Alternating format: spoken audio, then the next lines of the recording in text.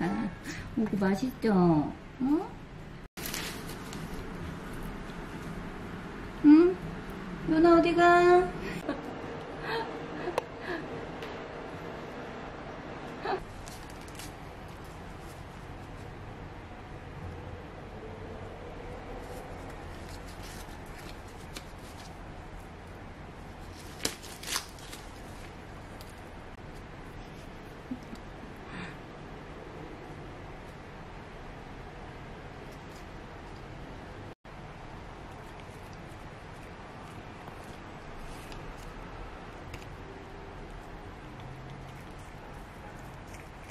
껍질 맛있나요?